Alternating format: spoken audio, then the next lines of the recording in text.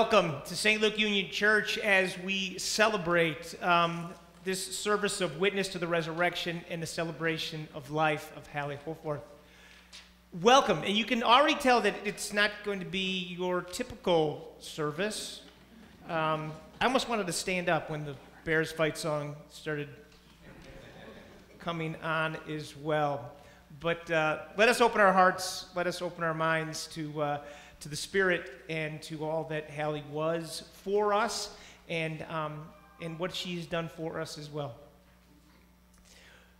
From the book of Galatians, it says, For as many of you as were baptized into Christ have closed yourself with Christ. In her baptism, Hallie was clothed with Christ.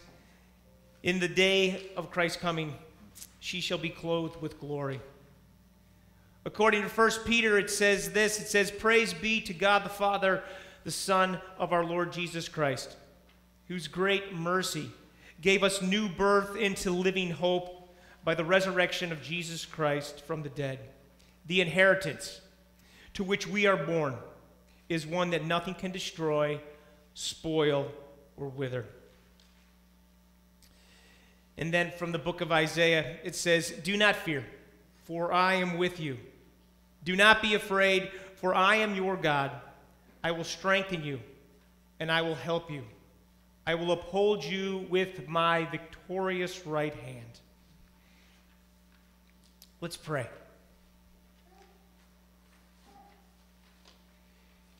Eternal God, we bless you for the great company of all those who have kept the faith, finished their race, and who now rest from their labor.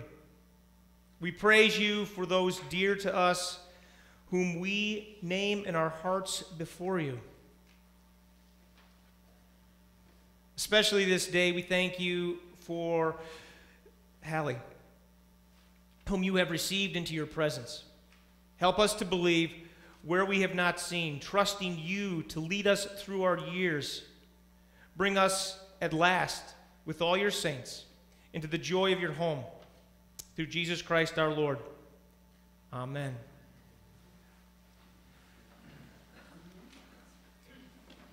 We live in a new time as, as David is coming forward because uh, before the pandemic, we never thought to live stream services such as this for people who aren't able to come, but uh, right it is. It's, on, so.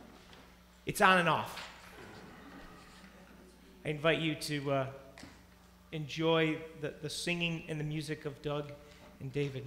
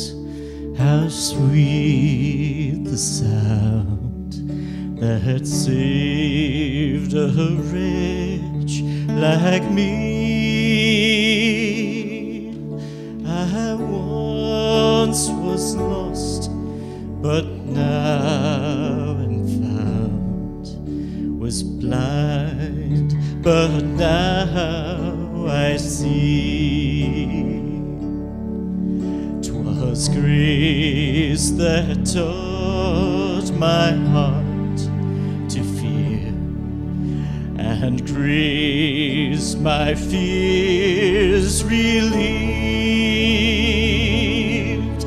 How precious did that grace appear the hour I first believed. My chains are gone, I've been set free my God, my Has ransomed me, and like a flood, His mercy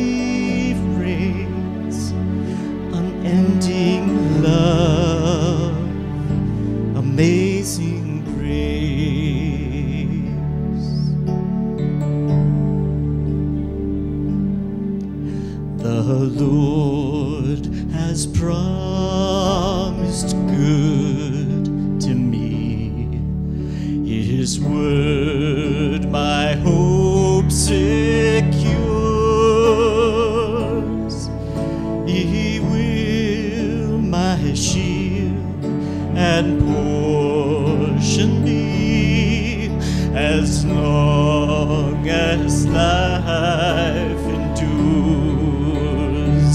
My chains are gone, I've been set free. My God, my Savior has ransomed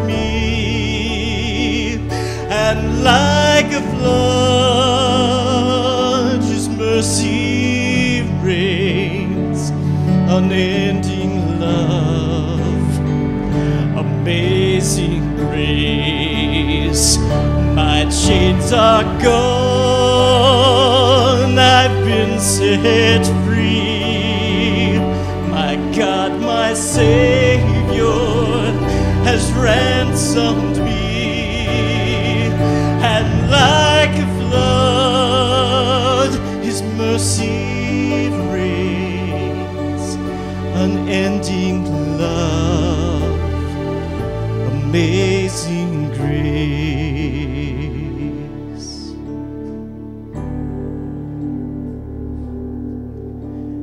The earth shall soon dissolve like snow.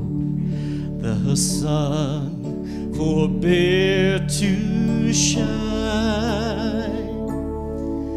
But God who called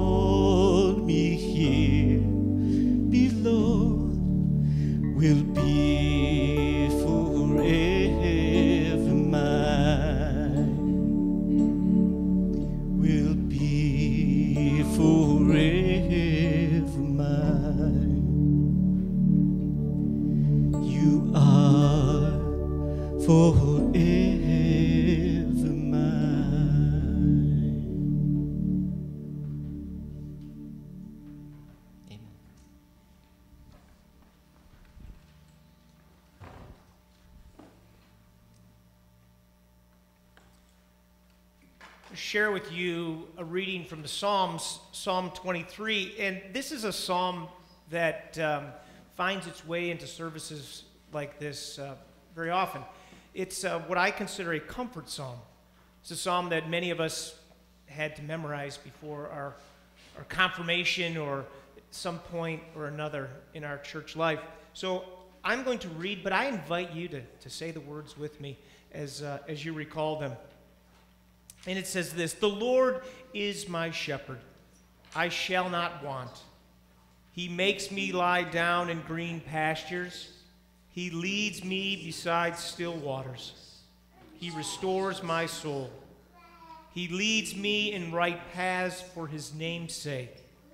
Even though I walk through the darkest valley, I fear no evil, for you are with me. Your rod and your staff, they comfort me. You prepare a table before me in the presence of my enemies. You anoint my head with oil. My cup overflows. Surely goodness and mercy shall follow me all the days of my life, and I shall dwell in the house of the Lord my whole life long. And then I want to share with you from the book of John, the 14th chapter, verses 1 through 3. And these words say this Do not let your hearts be troubled. Believe in God. Believe also in me. In my Father's house there are many dwelling places. If it were not so, would I have told you that I go to prepare a place for you? And if I go and prepare a place for you, I will come again and will take you to myself, so that where I am, there you may be also. It's the word of the Lord. Thanks be to God. Let me pray. Heavenly Father, be with us this day as we come together to, um, to grieve, to celebrate, to share, to uphold one another, to um, take one step in getting accustomed to uh, a new normal. Be with us this day. Fill us with your grace, your love, and your mercy. Amen. This is my chance to, to talk a little bit about Hallie. I remember my first conversation with Hallie. It was shortly after I arrived here as pastor at St. Luke Union Church back in 2009. And the conversation went something like this I came from a church in Oklahoma. She said, Oklahoma? What were you doing there? I said, Well, Oklahoma was where I received my first call to ministry. I grew up outside of Chicago.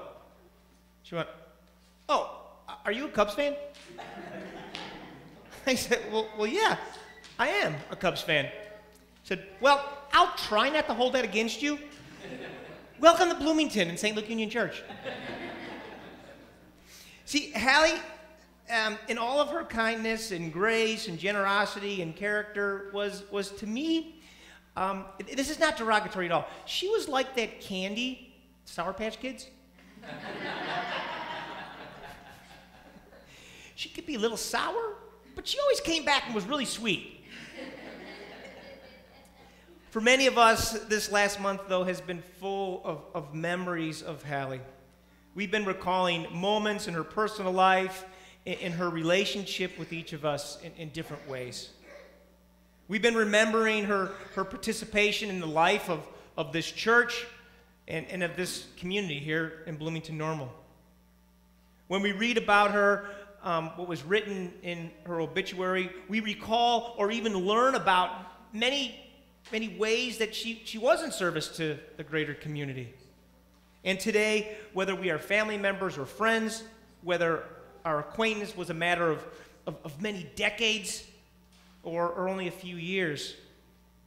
Um, we have been remembering and we have been celebrating Hallie and giving thanks for her life, a life well lived in, in these past few weeks.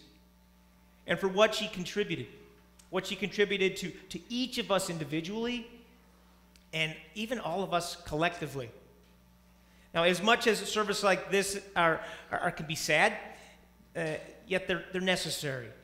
One of the things I've always loved to do is to examine what families bring and then place on the tables to highlight the different times in someone's life. I actually have a box as well. It contains really important things like my high school letters or uh, a gymnastics medal from I don't know when. Important things. But out here, we have things like master's degrees, even trinkets of, of what I call trinkets of glory days. It's enlightening to me to, to go out and to look. And I think for others, because, because these documents and these photographs bear witness to, to Hallie's life, and um, often in times when, when we knew her, when we lived in those glory days as well, or just enlightened times that you had no idea that took place. And it's good because in our time of grief and loss, we can look into the past and, and we can see who she was with gratitude. But what makes final sense of Hallie's life is not anything that, that she did or anything that she was. What makes final sense of her life is not only any golden moment we remember or hear, even those are precious to us. What makes final sense of her life so well lived and the life of any of us is simply the gift of grace, the grace of God that, that she had received and she shared grace that was in her in her entire life, grace that, that is with her now in her death, and, and even how she how she chose to go. And now a grace we trust, a grace we trust in and we pray for as it bears fruit in the fullness of, of our lives and, and her eternal life.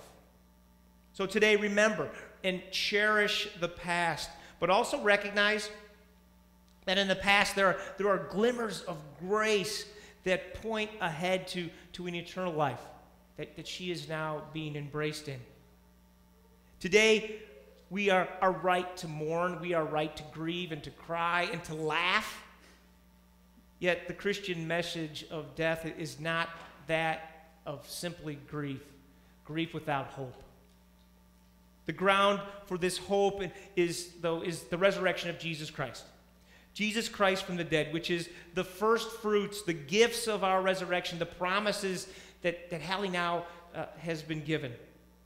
Christian faith declares that what God's grace makes real for the faithful is not only deliverance from our earthly home and a reunion, and a reunion with, with loved ones, it's more than that. But it is one that is, that is an exhilaration of existence whose center is, is with God now. Human fulfillment lies past this earthly life and is found in what the Christian tradition calls a, a vision of God. Hallie bore witness to this truth through her faith, and she did it in several ways.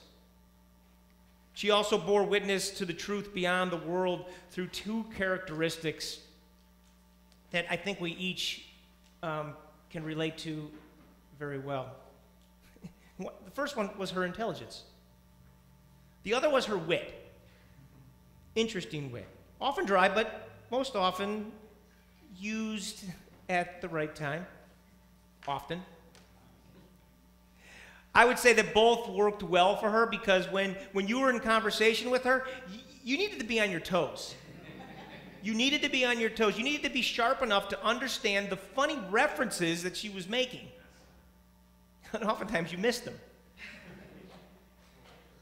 Hallie was intelligent. She was a thoughtful person who loved to penetrate past the surface into deeper levels of things. And again, you had to keep up. She didn't let cultural gender norms hold her back from doing what she knew that she could and contributed in ways not typically thought practical for women at, the time when she got into them, when she started. She held a bachelor's degree and a master's degree, and then taught mathematics at Illinois State University. And I was talking about this this last week with, um, with Larry Bork, Larry Bork is Ed Bork's son. He's a church member. He's a 99 and a half year old church member. And his comment was, Oh, I remember Hallie. She taught me.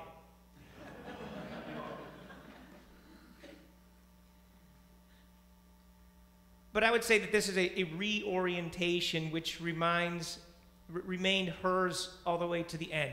A reorientation in our mind about the things that she did and stepped out to do that wasn't typical for, for a woman her witness of how life is, is indeed more than it appears, and how we are called through the mundane and the culturally accepted to something greater. She worked beyond that. Hallie, like I said, was also a witty person. Her humor could be, though, it could be dry. or as I like to say, a little sour. But it was always able, you, we was, it was always able to recognize accurately the human folly and irony of what was going on. But it also came, in most cases, with gentleness as well.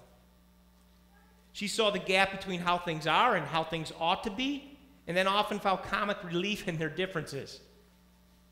This was really an acknowledgement of perhaps of, of humanity's grandeur and also our frailty. I think Hallie's humor prepared her, though, for heaven and, and for the kingdom, um, the kingdom that is now filled with love. There are, are losses of this life that are revealed as, as something other than final. Over folly and tragedy, the strong and the gentle love of God enjoys a decisive victory, revealing the great finality of all things not as veiled, simply as veiled in tears, but as a realm of laughter. There, there is more there to embrace all that Hallie was that we could ever imagine. I want to story. I want to share one more story, my personal story. Um, you all know that she played bridge, right? And she played bridge, and I'm sure there's probably some bridge partners here, or people who played with her. Are there? Yeah. And she played bridge the, three days before she passed, which just blows me away. I- and I know of bridge. Um, I've never played, and I only know bridge because my grandmother played, and she used to collect nickels. Someone's gonna have to explain what kind of betting schemes go in the bridge, but um, and, and I told her, I said, oh yeah, my grandmother played. And I, then I also wanted to say that, but I, I never learned how to play. and she explained to me, because, you know, bridge is not for the simple of mind.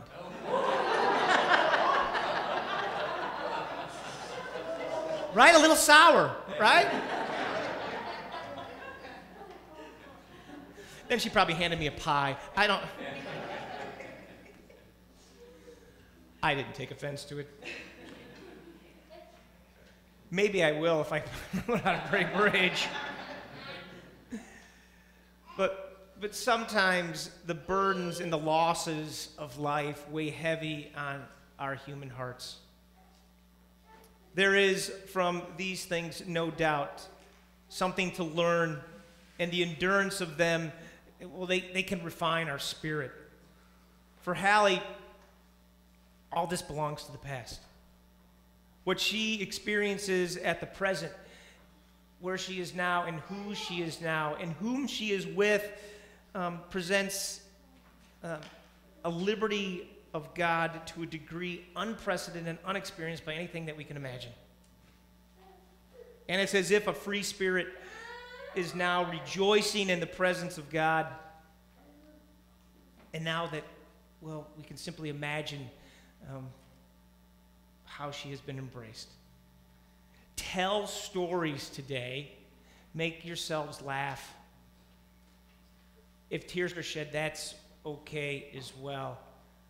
Um, it's, it's a wonderful expression of who she was and how she deeply touched our lives. Um, I, I know that um, I'm going to see Brandon in the back. Or no, here. Um, she really loved the, um, the Sunday meetings on, on Zoom. And her comment was, well, you know, Brandon, he's pretty good with computers. So he set all this stuff up. Um, but she enjoyed the fact that she couldn't believe the idea that she got to see everybody and didn't have to leave the house as well. Remember those, those times and those experiences and those just being virtually together, but you really were together. Go in peace, embrace her. Know that she was forever going to stay in your heart. And you will remember her in interesting and quirky ways. Maybe when someone has a little sour humor at all. Be at peace. Amen.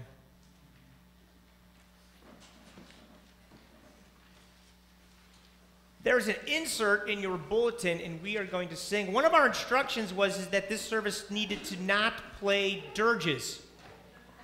So this is a song where um, you all need to sing and embrace and um, enjoy.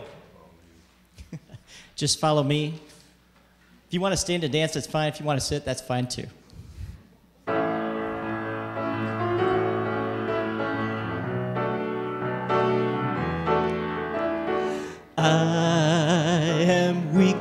But thou art strong. Jesus, keep me from all wrong. I'll be satisfied as long as I walk. Let me walk close to thee. The chorus. Just a closer walk with thee. Granted, Jesus is my plea. Daily walking close to thee.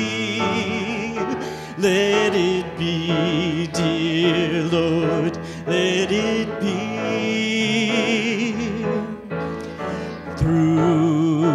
this world of toil and snares, if I falter, Lord, who cares?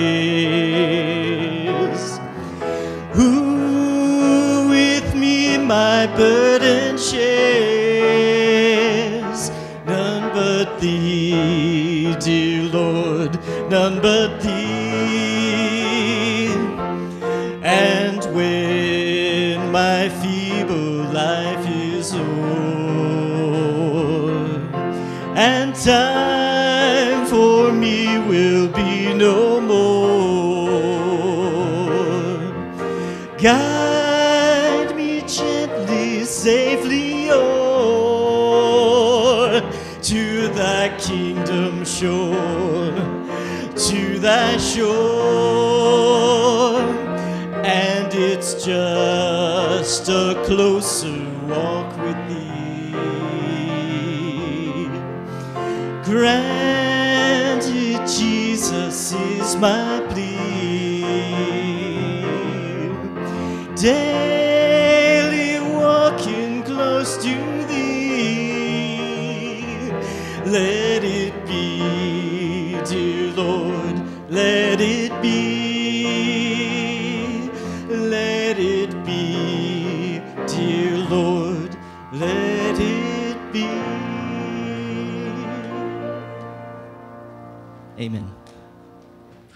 You're great.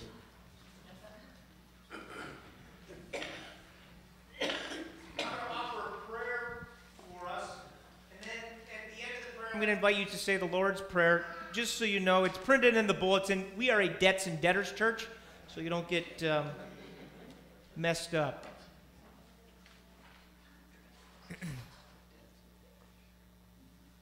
Almighty God, in Jesus, you promised many rooms within your house. Give us faith to see beyond touch and sight, some sure sign of your kingdom. And where vision fails, to trust your love, which never fails. Lift heavy sorrow and give us good hope in Jesus, so we may bravely walk our earthly way and look forward to glad reunion in the life to come. Lord, we, we ask you to be with us this day. Again, let us laugh. Let us celebrate the gift of the life that you gave Hallie, the gift of, of a life that she touched us each with, with her wit, with her gentleness, with simply how she would embrace and smile at us. Let us be comforted to know that she now resides with you in all of your glory. Perhaps staring down at us and praying for us. Lord, watch over us in your grace and your mercy. And let us pray together the prayer that your Son taught us when we say, Our Father, who art in heaven, hallowed be thy name. Thy kingdom come, thy will be done, on earth as it is in heaven. Give us this day our daily bread, and forgive us our debts, as we forgive our debtors.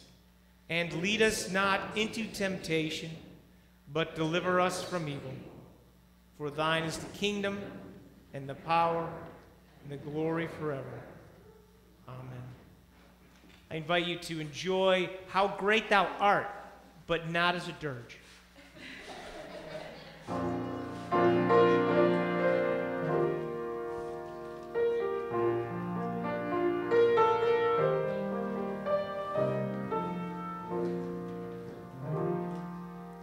O Lord, my God,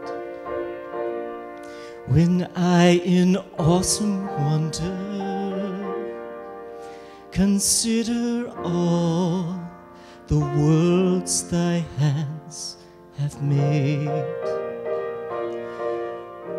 I see the stars. I hear the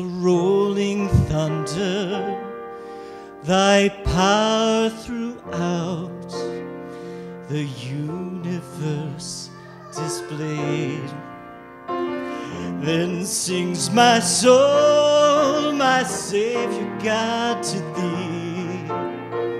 How great thou art, how great thou art. Then sings my soul, my Savior God, to thee. How great thou art,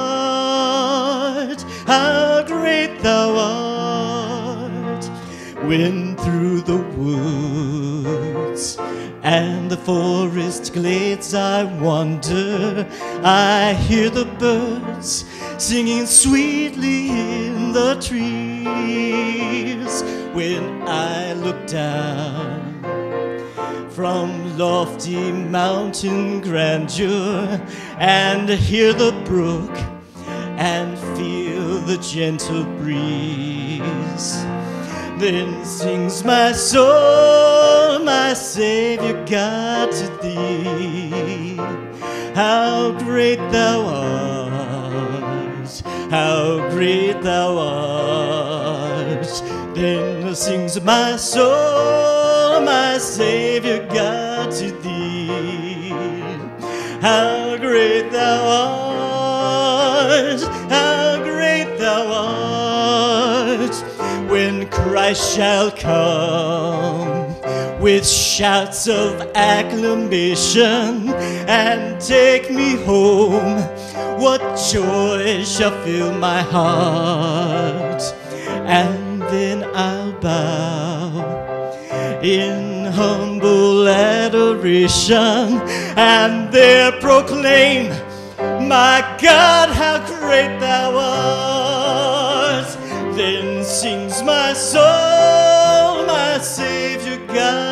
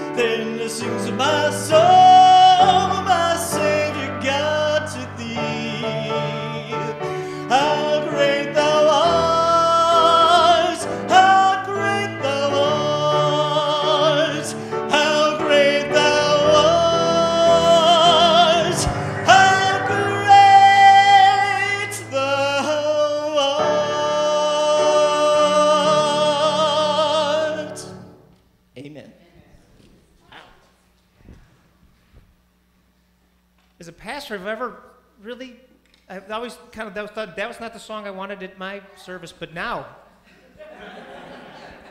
Thank you, Hallie. Um, just, I'm going to offer some, some final words, and then um, I'm going to bless you. I'm going to read the, the poem on the back of the, uh, the bulletin. Um, and when I say amen, that's also grace. Grace for lunch. You are all um, uh, invited. You are all encouraged. From my point of view, yes, you are encouraged to come and share lunch down in the lower level of, of the church. You can take steps out just to the left of the sanctuary when you walk out, or there's an elevator. Please come and eat. If you don't, then I get forced to eat it all next week. And it's think of the health of the pastor. but it is also a wonderful time to uh, to share and to tell more stories and to uh, and to be with one another. So hear these words. You are only you only are immortal, the creator and maker of all. We are mortal, formed of the earth, and to earth shall we return. This you ordained when you created us, saying, You are dust, and to dust you shall return. All of us go down to the dust, yet even at the grave we make our song singing hallelujah, hallelujah, hallelujah. Give rest, O Christ, to your servant with all your saints, where there is neither pain nor sorrow nor sign, but life everlasting. Into your hands, O merciful Savior, we commend your servant Hallie. Acknowledge, we humbly pray, a sheep of your own fold, a lamb of your own flock, a sinner of your own redeeming. Receive her into the arms of your mercy, into the blessed rest of everlasting peace, and into the glorious company of the saints of light. Amen.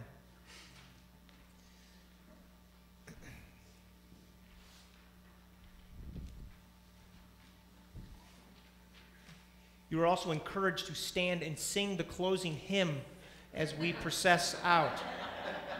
You'll all know the words. You can shed tears because they are gone, or you can smile because they lived. You can close your eyes and pray they will come back, or you can open your eyes and see all that they left for you. Your heart can be empty because you can't see them.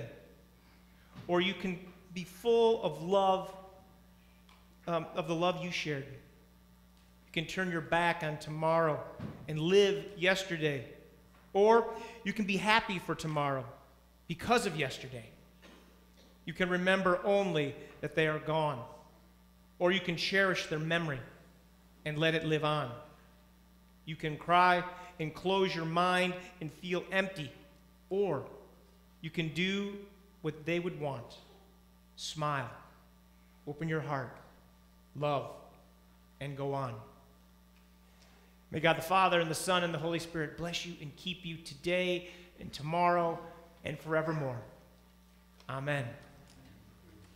And Hallie would be happy because there is a 9 o'clock game tonight against the Diamondbacks. Here we go, everybody. Here we, we're going to sing.